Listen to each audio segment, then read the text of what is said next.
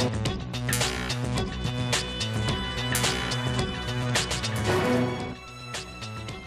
Troisième et dernière partie de l'Africa News. Nous sommes toujours en compagnie d'Abel Maïna, journaliste et de notre éditorialiste Daoud Attal.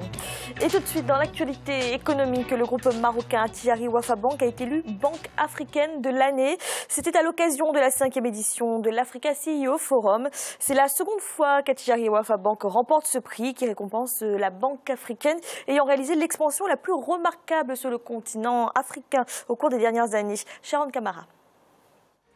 Le trophée a été remis à Boub Kerjé, directeur général d'Atijari Wafa Bank, par Amir Benyamed, président et fondateur du Africa CEO Forum. Quatrième groupe bancaire en Afrique, Atijari Wafa Bank a reçu pour la seconde fois le trophée de la Banque africaine de l'année. Je tiens particulièrement à remercier l'Africa CEO Forum pour euh, ces distinctions. Je remercie également le jury qui a su apprécier euh, tous les efforts que font euh, toutes les composantes du groupe Tigeri Bank depuis plusieurs années. Et nous comptons euh, donc continuer dans ce formidable projet de développement de la coopération sud-sud très cher à notre souverain. Atijari Wafa Bank, qui compte 7 millions de clients et plus de 16 000 employés présents dans 24 pays, est un des acteurs importants dans le secteur de la banque à l'échelle nationale et africaine. Cette nouvelle distinction vient récompenser le rôle actif du groupe dans le développement de l'économie du continent. Elle fait des pas de géant en Afrique noire, en Afrique occidentale. Elle avance très vite. Elle conquiert des parts de marché. Organisé les 20 et 21 mars 2017 à Genève, ce forum est un événement économique incontournable pour l'Afrique. Il a été mis en place par le groupe Jeune Afrique, Rainbow Unlimited et la Banque africaine de développement. Il réunit chaque année plus de 1000 participants, dont des chefs d'État, des décideurs et des dirigeants africains influents. Abel Maïna, on peut dire à Tijari Wafaban confirme sa place de leader? Oui, elle confirme et euh, c'est une bonne chose de savoir que euh, les banques euh, africaines se développent et marchent très bien sur le continent africain. C'est quelque chose de pas mal et de bien déjà. le problème ici, on ne peut que féliciter ces banques et les encourager et demander aux Africains de regarder beaucoup plus parce qu'aujourd'hui, le monde est contrôlé par l'économie. Et les Africains doivent regarder plus aujourd'hui vers les banques africaines que d'investir dans les banques qui ne sont pas africaines, qui font de l'inflation, comme euh, le cas euh, des, banques euh, occidentales en, Afrique du Sud, on en, a parlé.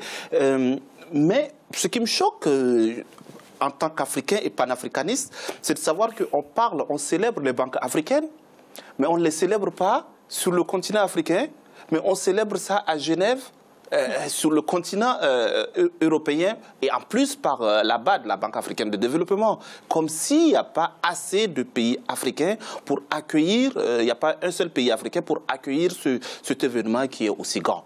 Non, moi, quand je vois ça, ça me, ça me choque je me dis, ben, quelque part, on célèbre quelque chose de bien, mais ailleurs. Daouda, c'est la stratégie panafricaine du groupe marocain qui lui vaut cette réussite? Oui, la stratégie panafricaine, euh, bon, c'est pas la seule banque panafricaine, ah mais euh, celle-là, elle fonctionne. Mais je, pense que ça relève plus de la stratégie même euh, de conquête de la Tijari Wafa Bank. C'est-à-dire que c'est une banque effectivement marocaine, mais quand, ils vont, quand elle va s'installer dans un autre pays, elle va coopérer avec les banques qui existent, soit racheter des parts, soit euh, voilà, faire une forme de coopération qui soit utile pour le business. Euh, et, je pense que le succès d'Atijari Wafa Bank tient à cela. Euh, vous allez aujourd'hui au Sénégal, en Côte d'Ivoire, enfin en Éthiopie, etc. C'est la même chose. Euh, vous, allez au Sénégal, euh, les banques françaises historiques euh, ont perdu beaucoup, beaucoup de parts de marché au profit de d'Atijari Bank. Et puis le deuxième élément justement qui explique ça, c'est la stratégie de, de, proximité avec la population. C'est-à-dire que avec Atijari Wafa, je pense que dans les pays africains, l'accès aux banques devient plus facile. Enfin, il y a, c'est une impression qu'il y a beaucoup moins de procédures. Enfin, la distance entre les banques et la population, je pense, a été réduite. Je parle du cas du Sénégal que je connais le mieux, a été réduite à partir du moment où Atijari Bank s'est installé. Il y avait la CBAO avant, compagnie bancaire de l'Afrique de l'Ouest. Donc, il y a eu une, une fusion. Je pense que ça tient vraiment à la stratégie qui est développée par cette banque. Du coup, c'est également le panafricanisme, on peut l'appeler comme ça. Ah ben, euh, euh, il y a un modèle spécial euh, à Atijari Wafa Bank en termes de développement, de stratégie? Euh, comme il a dit, c'est euh, la proximité que, cette banque a avec les, euh, populations en Afrique. Atijawari, c'est une banque qu'on voit quand on part. elle ne vient pas s'imposer sur le marché comme une banque qui vient conquérir, mais une banque qui vient qui, qui, qui, qui s'installe et qui accepte, qui se transforme, qui accepte la transformation et qui, euh, comment on peut dire, qui, qui rentre dans, dans, dans, le moule. Euh, c'est pas comme euh, les, les, les, autres banques, Société Générale et toutes ces banques qui viennent avec leur modèle, leur façon de faire, leur politique, euh, qui ne sont pas en réalité des politiques locales, des politiques euh, de ces pays. Donc moi je pense que c'est le modèle qui est le plus important, qui c'est cette particularité qui fait que cette banque arrive à s'installer très facilement dans les pays africains et accepter également par euh, les populations africaines. Merci. Dans l'actualité également, la capitale algérienne, Alger, est répertoriée pour la deuxième année consécutive comme étant la cinquième ville la moins onéreuse du monde en 2017. La métropole algérienne se classe 127e au classement des grandes villes en termes de coût de la vie. Alger se distingue notamment grâce au prix de son essence sans plomb estimé à 0,28 dollars le litre. Gladys Mamba. Alger, cinquième ville la moins chère du monde. C'est ce que révèle le dernier rapport réalisé par The Economist Intelligence Unit pour 2017. L'étude publiée classe la capitale algérienne de près de 3,4 millions d'habitants au 127e rang sur 133 villes les plus chères du monde selon le coût de la vie. Alger, ça donne un symbole des autres villes du pays, comme Oran, Constantine, Annaba, Blida, Batam, les autres villes euh, du pays à l'est et à l'ouest et même euh, au, sud algérien. Et c'est vrai que euh, cette situation de ville moins chère donne une idée bien précise sur le niveau de vie qui a un peu baissé ces, ces, derniers mois en Algérie en raison de la crise pétrolière. Pour réaliser cette étude, New York a été utilisé comme ville de référence. L'indice permettant de mesurer le coût de la vie repose sur le prix de plus de 160 biens et services.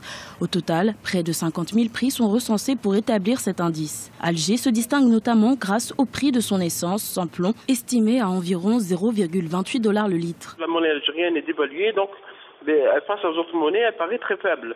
D'où euh, la possibilité d'avoir facilement euh, un appartement à Alger, par exemple, pour moins de pour la location pour moins de 200 euros, euh, ou même pour les achats dans les grandes surfaces ou dans les commerces. Une autre ville africaine fait partie du top 5 des villes les moins onéreuses. Il s'agit de la capitale nigériane, Lagos, qui compte près de 12 millions d'habitants. La plus grande métropole du continent africain est classée deuxième ville la moins chère du monde. Daouda, est-ce que ce résultat vous surprend Alger parmi les villes les moins chères du monde? Oui, c'est surprenant quand même, même si Alger était apparemment au niveau du dernier classement de l'année dernière, mais ça reste toujours surprenant parce que euh, c'est quand même bon. On aurait pensé euh, à d'autres villes où euh, on s'est dit la vie est beaucoup moins, euh, la vie est beaucoup plus chère en fait.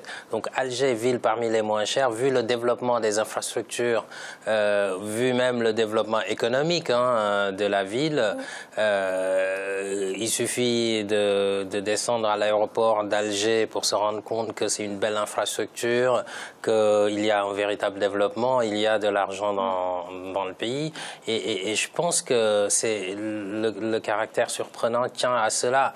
En même temps, ça peut aussi s'expliquer parce que, bon, vous savez, euh, vous avez une étude là qui, qui, prend en compte des denrées que consomment les populations, etc. Euh, si ces denrées sont subventionnées par l'État, évidemment, elles vont être moins chères, quel que soit le niveau de, vie même de, de, la ville, et de on la le population. Voit, il y a l'essence aussi qui est pas chère du tout. Hein. L'essence n'est pas chère du tout, et tout ça, ça tient à des subventions, bien entendu. Je pense que vraiment, la, principe, la principale explication, elle va tenir à cela, euh, parce que c'est une ville, Alger, qui a euh, tout ce que les autres villes ont quasiment, mais avec des prix beaucoup moins chers. Et, mais aussi, il faut dire que l'État algérien le sent au niveau du portefeuille, de son portefeuille budgétaire, je veux dire. Parce qu'à force de subventionner, à un moment donné, eh ben, vous avez des déficits au niveau de votre budget qui peuvent se répercuter sur votre capacité à mener des investissements publics euh, dans la santé, dans l'éducation, etc. Donc, quelque part, c'est une bonne chose que tout ça soit moins cher. D'un autre côté, il faut voir euh, quelle est l'alternative de l'État pour pouvoir répondre véritablement aux besoins clés de la population. Abel Meina, que pensez-vous de ce classement? Moi, je ne suis pas surpris parce que je me dis, quand on voit déjà le prix euh, du carburant dans ce pays, euh, c'est euh, le carburant, c'est ce qui fait tourner la, les moteurs. Donc, quand le carburant est déjà le prix, il est abordable, ça veut dire que euh, c'est plus facile de drainer euh, les différentes locomotives euh, du pays. Et ça, ça, ne surprend pas. par contre, je ne suis pas totalement d'accord par rapport à ce qu'il dit. Quand il dit les subventions de l'État, moi je pense que quand un régime est en place, un pouvoir en place, se dit qu'il faut subventionner, c'est-à-dire qu'il faut rendre la vie facile et moins chère à sa population. Donc, quand il y a de l'argent, il faut subventionner. Le cas, par exemple, de euh, la Libye euh, au temps de Kadhafi, Kadhafi euh, avait de l'argent qu'il investissait dans tout. Les, Libyens avaient de l'électricité presque gratuite pour tout le monde. le carburant était presque gratuit pour tout le monde. Donc, ça faisait que la vie était vraiment très facile pour les Libyens. Et c'est ce modèle que les chefs d'État africains doivent prendre et se dire, au lieu de mettre de l'argent ailleurs, il faut subventionner, rendre la vie facile mm. aux populations et aux... Voilà. Oui, Daouda, vous intervenir. Oui, euh, bon, euh, je, pense qu'on est d'accord sur ce point, effectivement. Je pense que subventionner, c'est bien, mais ce que je voulais surtout dire, c'est que euh, tout dépend des choix. des choix de, de subvention, en fait. C'est-à-dire que le carburant, tous les Algériens n'ont pas de voiture, forcément. Mm. Donc euh, l'électricité, bien entendu, c'est excellent. Il faut, je pense qu'il faut subventionner les denrées de base les, denrées alimentaires, etc. Ça, c'est une bonne chose. Mais euh, quand euh, vous mettez des subventions parfois sur des éléments, des postes qui ne sont pas accessibles aux populations les plus défavorisées, je pense que là aussi, ça peut poser problème au niveau, au, niveau du budget. Donc, euh, je pense que ce que l'État algérien fait à ce niveau-là, c'est une très bonne chose. Et aussi, il faut rappeler le contexte actuel, parce que l'Algérie traverse quand même un certain nombre de, difficultés vis-à-vis -vis de ses réserves de etc. Et la question même de la pertinence d'un certain nombre de subventions est clairement posée sur la table. Je ne veux pas être capitaliste, je suis pro-développement, mais euh, mais voilà, c'est ce que je voulais préciser. Mmh, belle il y a aussi Lagos dans les cinq villes euh, les moins euh, onéreuses euh, du monde. Qu'est-ce que vous en pensez, Lagos au Nigeria? Oui, mais c'est toujours le problème de carburant parce que moi j'ai visité Lagos, le Nigeria, c'est l'un des pays. Je disais tout à l'heure que là où le carburant est moins cher, ça draine facilement les différentes locomotives. Donc Lagos, c'est l'un des pays, le, le Nigeria, c'est le premier pays producteur de pétrole en Afrique. Donc ça fait que le, le carburant, il est vraiment moins cher, même si euh, les différentes villes euh, et Lagos est très très pollué par rapport à ça, mais quand même, je pense que c'est l'une des, choses les plus euh, primordiales pour les populations africaines. Parce que quand le carburant est moins cher, la plupart des paysans, des agriculteurs en Afrique, ils travaillent tous, par exemple, avec des groupes électrogènes pour des, motopompes, ce qu'on appelle des motopompes, pour drainer de l'eau et autres. Du moment où le carburant, il est moins cher, mais le paysan, il est plus facile pour lui d'avoir euh, ce petit moteur qui lui permet de drainer de l'eau facilement et continuer dans l'agriculture. Donc moi je pense que euh, si Alger, le carburant est moins cher et que le Nigeria est moins cher, il va falloir que le Sénégal réfléchisse à, à, financer, euh, à subventionner le carburant, que le Cameroun réfléchisse et que peut-être, voilà. Merci. Dessus notre chiffre du jour, on reste au Nigeria. Justement, le gouvernement a approuvé pour 256 millions de dollars de projets routiers, ferroviaires et énergétiques des projets qui visent notamment à réhabiliter 12 routes fédérales, mais également à améliorer l'accès à l'électricité dans le pays. Daouda, les infrastructures routières et l'énergie, ce sont des priorités pour le Nigeria Oui, c'est des priorités pour le Nigeria. Je pense que là, véritablement, il faut saluer la mise à disposition de cette enveloppe euh, parce qu'il faut que les gens puissent se déplacer. Euh, vous savez, il faut pouvoir connecter les zones de production, par exemple agricoles, etc., au marché. Et pour ça, il faut des infrastructures pour pour transporter tout ce qui est denrée, euh, enfin tout ce qui est produit localement. Donc je pense que c'est bon, c'est une bonne chose, d'autant plus que la mobilité urbaine euh, fonctionne aussi, les villes sont davantage connectées. Euh, parlant de l'énergie, je pense que l'énergie, moi je, dirais tout simplement que c'est la matière première du développement. Si vous n'avez pas d'énergie, vous ne pouvez pas vous développer parce que les entrepreneurs ne, ne fonctionnent pas. Mon co-débatteur parlait de groupes électrogènes pour l'agriculture. Je parlerai aussi des, tailleurs, euh, des artisans. Euh, je pense que voilà, l'énergie, c'est véritablement euh, le, le, pôle le plus important à développer pour pouvoir mettre en place un développement harmonieux et qui cible les personnes qui en ont vraiment besoin. Le développement de l'Afrique, celui qui sera utile, qui sera inclusif, ce sera le développement des petites et moyennes entreprises, voire des entreprises individuelles. Et ça, je pense qu'avec ce type de projet, on peut y arriver. Mmh, D'ailleurs, le, ministre de l'Énergie euh, a déclaré que ces financements, euh, qui sont assez importants, euh, vont restaurer la confiance des investisseurs. Vous êtes d'accord avec ça? Oui, totalement d'accord, parce que les investisseurs, ils vont se rendre compte que le pays est praticable, c'est facile de se déplacer d'une zone à une autre comme on, le dit, là où passe la route suit le développement. Euh, bien évidemment, ça va faire qu'aujourd'hui, euh, le Nigeria, euh, par rapport à mon pays d'origine, qui est le Tchad, deux tiers des, produits sur le marché tchadien viennent du, du Nigeria. Et ça, c'est grâce au, développement des infrastructures et de la route euh, au niveau du Nigeria.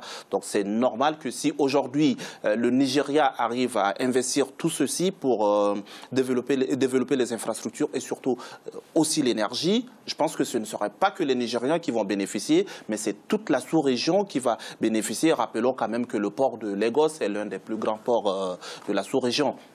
Merci. C'est à présent la fin de cette émission et de cette semaine sur le secteur hôtelier. La semaine prochaine sera consacrée aux oppositions politiques en Afrique avec l'objectif de l'alternance. Abel Maïna, merci d'avoir été avec nous. Merci Fanny. Et Dorada, merci également. Merci Fanny, un plaisir renouvelé et partagé. Bonsoir à toutes et à tous. Et merci à vous de nous avoir suivis. À bientôt dans l'Africa Newsroom.